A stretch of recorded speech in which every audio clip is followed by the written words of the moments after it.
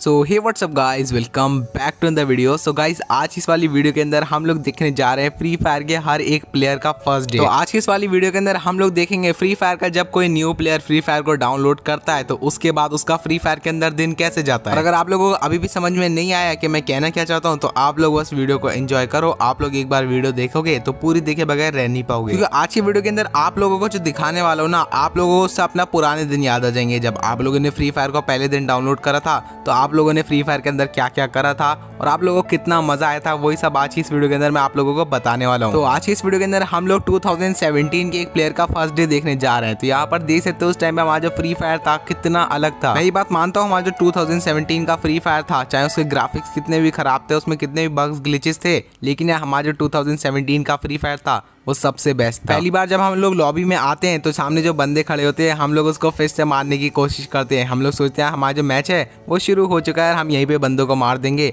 पर जब बहुत देर तक मारने के बाद भी बंदे नहीं मरते हैं तो हमें पता चलता है भाई ये तो वेटिंग लॉबी है। और धोखे से भी अगर किसी बंदे के पास हमें गन की स्किन दिख जाए और वो बंदा लॉबी के अंदर गन ले आता था तो भाई उससे ऐसा भागते थे कि ये मुझे लॉबी के अंदर मार नहीं थे भाई ये तो पक्का हैकर ये लॉबी के अंदर लेके कैसे आ गया? क्योंकि उस टाइम में हमारे पूरे फ्री फायर में सिर्फ़ एक या दो गन स्किन थी। पहले का जो फ्री फायर था। सच्ची में बहुत ही ज़्यादा फेयर था। उस टाइम पे ना तो गन स्किन होती थी, ना ही कोई करेक्टर होता था। हम सभी लोग एडम या फिर ईव लेकर खेलते थे। उस टाइम पे हमारे पास ड्रेस तो होती नहीं थी तो हम लोग पता है शो ऑफ़ किससे करते थे? हम लोग दिखाते थे, भाई, ये देख मैंने गोल्ड रॉयल की ड्रेस निकाल ली। ये देख मैंने फोर्ड निकाल लिया। ये देख मैंने कैली कैरेक्टर भी निकाल लिया। और ये सब चीज़ें उस टाइम पर भी फ्री थी। बस हम लोग इन चीज़ों को लेते थे और शो ऑफ़ करते थे। धोखे से भी अगर हमें गेम के अंदर मिगोइल या फिर क्ला कैरेक्टर दिख जाया करता था, भाई, उससे तो ऐसे भागते थे। सच्ची में सबसे ज़्यादा प्रो हम उसे मानते थे। उस टाइम पे हमें hip hop bundle Sakura bundle ये सब बंडल तो अच्छे लगते नहीं थे। उस टाइम पे जो हमें सबसे ज़्यादा रेयर बंडल लगता था वो था स्कल मास्क बंडल और जोकर बंडल उसको देखने बाद भाई ऐसा डरते थे ना हम लोग हम सोचते थे यार सबसे प्रो प्लेयर तो यही है इसको तो मैं कभी मार ही नहीं सकता। तो पहली बार जब हम लोग प्लेन में यहाँ पर जाते हैं तो हम लोग उसमें से इजेक्ट करते हैं और नीचे की तरफ़ हम लोग सोचते थे भाई कौन सी जगह जाऊँ? क्योंकि यार हमें पहले तो मैप का कुछ पता नहीं होता है कि कहाँ पर क्या चीज़ मिली तो जहाँ भी हमारा मन करता है हम लोग बस वहीं कूद जाते हैं और अपने कैरेक्टर को देखते रहते हैं। भाई ये एडम कितना सुंदर लग रहा है। प्यारी समझ गई।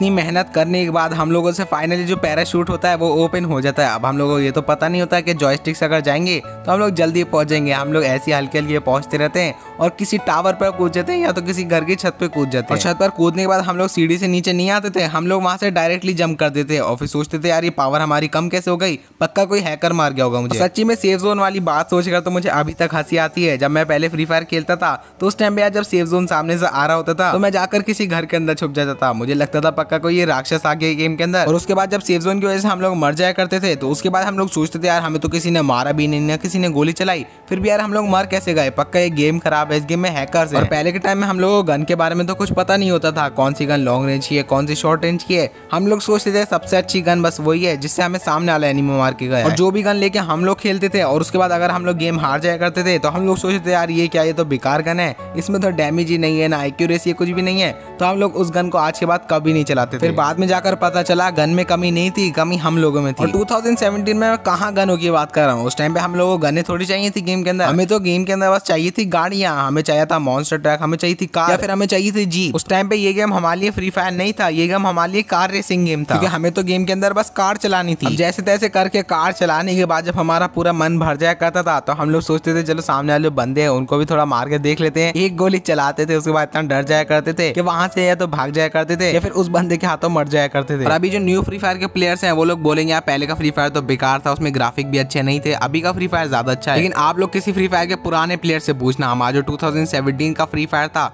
वो हमारे लिए सिर्फ़ एक गेम नहीं था, वो हमारे लिए सब कुछ था। पहले जब किसी भी चीज़ का डिप्रेशन या टेंशन हुआ करता था तो हम लोग बस फ्री फायर खोलते थे, एक दो गेम खेलते थे, और सारा टेंशन दूर हो जाया करता था। लेकिन अभी का फ्री फायर आप लोग देख लो, आप लोग जैसे फ्री फायर खोलते हो चार पाँच तो आप लोग इवेंट देखने को मिल जाएँगे। फिर यार, इस चीज़ का और टेंशन हो जाता है यार, इस बंडल को मैं कैसे निकालू मेरे पास तो डायमंड ही नहीं है। और हम लोग सोचते हैं अगर ये बंडल मैं नहीं निकालूँगा कोई मुझे अपने ग्रुप में नहीं लेगा सब लोग नूब बोलेंगे। और अगर मैं गन स्किन या फिर कैरेक्टर नहीं लूँगा तो मैं गेम को जीत कैसे पाऊँगा? क्योंकि गेम तो अभी पूरा पे टू विन हो चुका है। इन चीज़ों की वजह से और ज़्यादा टेंशन हो जाती है और कुछ बच्चों को जब पैसे नहीं मिलते हैं या तो वो लोग अपने घर पर चोरी कर लेते हैं या सुसाइड कर लेते हैं। सच्ची में यार ये चीज़ें जब मैं सुनता हूँ ना इतना बुरा लगता है क्योंकि ये चीज़ एक बार नहीं बहुत बार हो चुकी है। मतलब लिटरली यार एक गेम के पीछे कुछ बंदे अपनी यार जान गवा देते हैं। लेकिन आप लोगों को ऐसा बिल्कुल भी नहीं करना चाहिए। हाँ मैं मानता हूँ जो न्यू प्लेयर्स होते हैं ना फ्री फायर में उनको सबको फ्री फायर का कुछ ज़्यादा ही क्रेज होता है खेलने का भी बहुत ज़्यादा मन करता है। हाँ यार हम लोग भी पहले ऐसे ही थे हम लोग भी बहुत ज़्यादा गेम खेलते थे। लेकिन गाइज़ ये बात मैं गारंटी से कह सकता हूँ जितने भी फ्री फायर के पुराने प्लेयर्स है ना उन लोगों ने कभी भी फ्री फायर में आप चोरी करके पैसे नहीं लगाए होंगे। हम लोगों को पहले से ही ऐसी आदत पड़ चुकी थी ना पहले हम लोग टॉप अप नहीं करते थे। अगर आप लोग भी टॉप अप करना छोड़ दोगे ना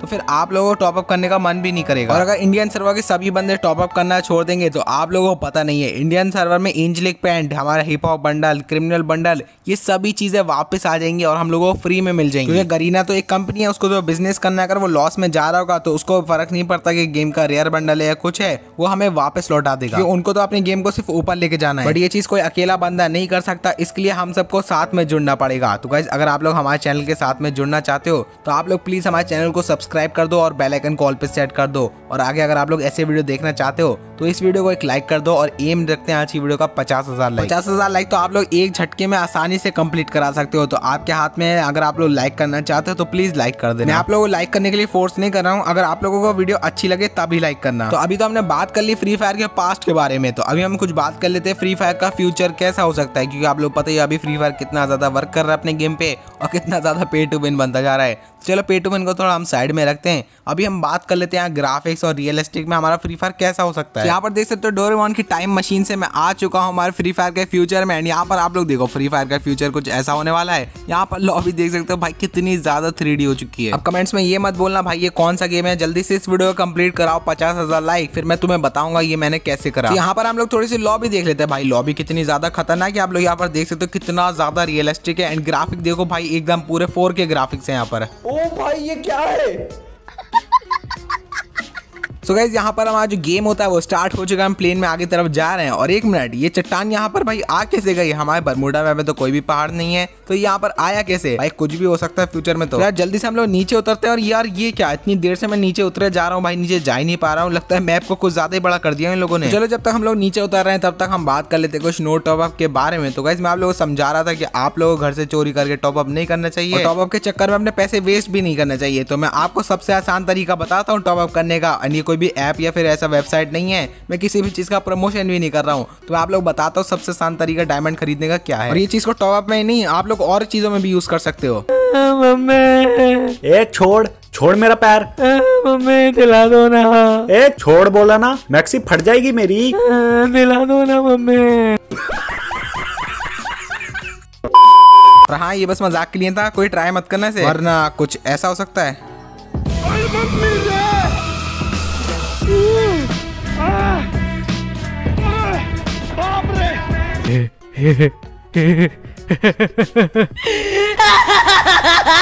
ओके थोड़ा ज़्यादा हो गया।